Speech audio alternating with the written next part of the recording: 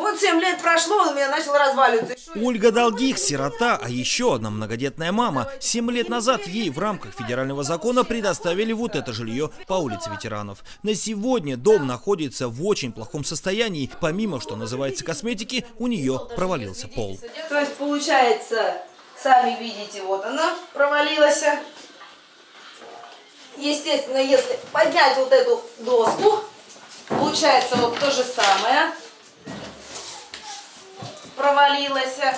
Если убрать эту, получается все то же самое. То есть унитаз скоро рухнет. Ситуация такова, что в любой момент один из маленьких жильцов этого дома может провалиться и в том числе получить травму. По словам Ольги, она обращалась за помощью в разные государственные органы, но безрезультатно. Знаете, в соцзащиту я обращалась, э, когда у меня третий ребенок родился. То есть у меня родилась Милана.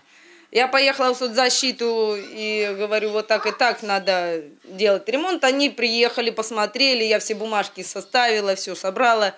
Собрали они там у себя комиссию, и мне на комиссии то ли их не заведующий, то ли кто-то там их не сказал – пока, говорит, вашему дому не будет лет 10, говорит, когда он старый, говорит, уже будет, тогда, говорит, обращайтесь, мы вам поможем. Ну и в итоге они мне отказали, и вот 7 лет прошло, и все. И вроде бы ситуация понятная, но есть несколько «но». Во-первых, Ольга Долгих юридически не является собственником этого дома. Жилье находится в так называемом социальном найме, где есть контракт, в котором прописаны все условия обслуживания помещения, в том числе производство текущего ремонта. Безусловно, наниматель обязан поддерживать в надлежащем состоянии жилое помещение, э, проводить э, текущий ремонт жилого помещения и, соответственно, производить оплату за жилое помещение и коммунальные услуги.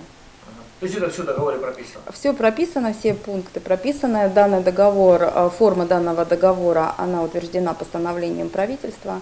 И э, положения, которые там определены, они также э, указаны в жилищном кодексе Российской Федерации. На сегодня у Ольги Долгих скопился большой долг по коммунальным платежам, который, по ее словам, мешает приватизации помещения, что тоже не является верным. Кроме этого, у этого дома есть гарантийный срок, и поскольку он является по сути муниципальным имуществом, то наниматель может и обязан просигнализировать в случае серьезных неисправностей наймодателю, то есть государству, об этих проблемах. В УКС и в администрацию по состоянию а, внутреннего, внутренних помещений не поступало никаких обращений, поэтому, да, и нужно обратиться с заявлением, а, хоть в адрес УКСа. А, мы выйдем на место, обследуем а, ситуацию. При необходимости составим дефектную ведомость и определим сметную стоимость работ, определим затраты и будем предусматривать в дальнейшем для выполнения ремонта. Не могу сказать, будет ли это 2020 год, либо 2021, но шансы есть. Вот у тебя, смотри, я сижу за верстаком, песни напеваю. Поскольку Ольга Долгих многодетная мама, то она подпадает под категорию граждан, которые регулярно получают различную помощь от социальной защиты населения, в том числе и от благотворителей. Ольге Николаевне Долгих меры социальной поддержки оказываются всех уровней, предоставляются своевременно.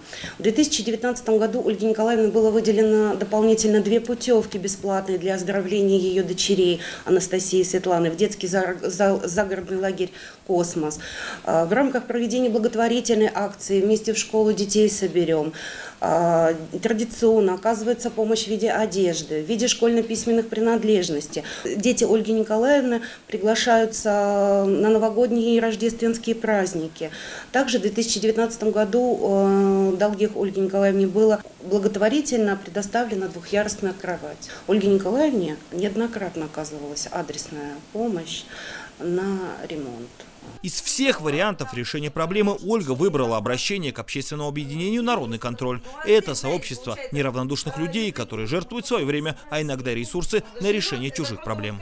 Э, обратился Долгих Ольга ко мне э, по поводу того, что она не знает, как ей э, поступить с этим полом, потому что полтора метра глубина – дети маленькие, и она сама небольшая ростом. Не дай бог ребенок упадет, она даже сама его вытащить не сможет. И обратиться она даже не знает куда, что ей делать, как бы помощи у нее нету ни от кого. Сегодня на учете в полиции состоит 163 несовершеннолетних староскольца. И статистика говорит о росте количества преступлений этой категории лиц в нашем округе. В текущем году в МВД России по городу Старому Осколу зарегистрировано 79 преступлений, совершенных несовершеннолетними. А, Это на 30% больше, чем в аналогичном периоде прошлого года. Основная а, масса совершенных э, преступлений носит имущественный характер, э, то есть кражи. А, Их совершено в этом году 46, что на 10% больше, чем в прошлом году. Кто прав, а кто виноват, разбираться можно бесконечно потенциальными заложниками, а может быть и жертвой безразличия со стороны всех социальных институтов являются в первую очередь шесть детей. Сегодня они уже находятся в определенной зоне риска. А что будет завтра? Константин Симонов, Дмитрий Жиляков, Дмитрий Бортников. Специально для телеканала «Скользкое время».